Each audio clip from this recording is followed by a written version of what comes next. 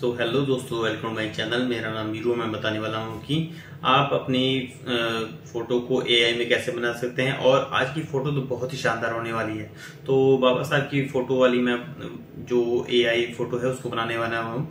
तो सबसे पहले जय भीम और मैं बताने वाला हूँ कि जो आप बींग इमेज क्रिएटर मेरी पिछली वीडियो में देखे होंगे, उसी का मैं ये नेक्स्ट वीडियो लेके आया हूँ। तो इसमें मैंने जो प्रॉम्प्ट दिया हुआ है ठीक है? जो प्रॉम्प्ट यूज़ किया हुआ है, उसको आप डिस्क्रिप्शन से आसानी से डाउनलोड कर सकते हैं, उसको कॉपी कर सकते हैं।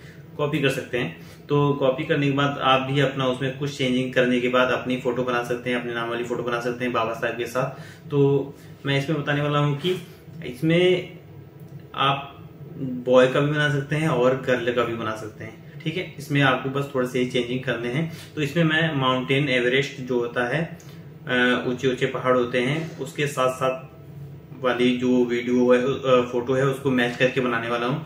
तो वीडियो इंटरेस्टिंग होने वाली है तो इसको मिस बिल्कुल भी ना करें और स्टेप बाय स्टेप फॉलो करिए ताकि आप भी अपने नाम के साथ, अपनी फ़ोटो के साथ, बाबा साहेब की फ़ोटो वाली जो A I three D photo है, उसको बना सकें। तो चलते हैं स्क्रीन की तरफ़ और फटाफट बताते हैं कि इसको कैसे बनाया जाता है। तो आप भी बना लीजिए, ठीक है? So let's start so so, दोस्तों आगे अपने मोबाइल स्क्रीन पर सबसे पहले चलते हैं बींग ऐप में। बींग ऐप पे क्लिक करेंगे उसके बाद हमारे पास कुछ ऐसा इंटरफेस आ जाएगा।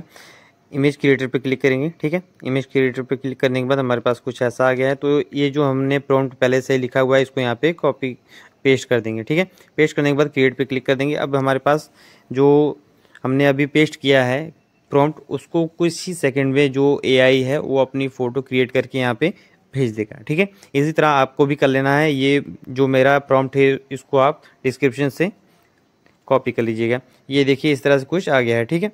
तो यहाँ से हम इसको डाउनलोड भी कर सकते हैं, ठीक है? डाउनलोड कर सकते हैं। अगर आपको फिर से क्रिएट करना है तो क्रिएट पे क्लिक कर दीजिएगा, ठीक है? तो फिर और भी फ़ोटो इसकी बन के आ जाएगी। तो अभी इसको हम, ये देखिए क्रिएट पे क्लिक कर दिए हैं। तो अभी फिर फ़ोटो वो अभी जो पहले दी हुई थी फ़ोटो वो चेंज करके दूसरी फ़ोटो यहाँ पे दे देगा। जितनी दफ़ा आप क्रिएट पे क्लिक करेंगे, एक ही प्रॉम्प्ट को, वो बार बार अलग अलग आपको फ़ोटोज़ देता रहेगा, ठीक है? ये देखिए, कुछ इस तरह से फ़ोटोज़ आ गई है। तो हमको यहाँ पे जो भी फ़ोटो पसंद आएगी, उसको डाउनलोड कर लेना है, ठीक है?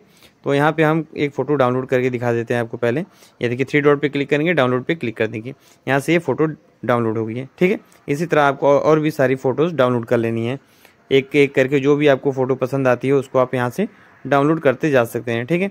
तो इसी तरह आप भी अपनी फ़ोटोज़ बना सकते हैं क्रिएट कर सकते हैं। बस आपको क्या करना है कि मेरा जो प्रॉम्प्ट है उसको आपको यूज़ कर लेना है। मेरे जो डिस्क्रिप्शन है उसमें मैंने दिया हुआ है उसको सही तरीके से एडिट कर सकते हैं ठीक है? सो so, दोस्तों हमारी आज की वीडियो कैसी लगी? अच्छी लगी तो लाइक कर दे कमेंट कर दे शेयर कर दे और सब्सक्राइब कर दे ताकि हमारी आने वाली सभी नोटिफिकेशन आपको मिलती रहे और अपने दोस्तों में ज़्यादा से ज़्यादा इस वीडियो को शेयर कर सकते हैं और इसी तरह आप अपना साथ दे सकते हैं। ठीक है?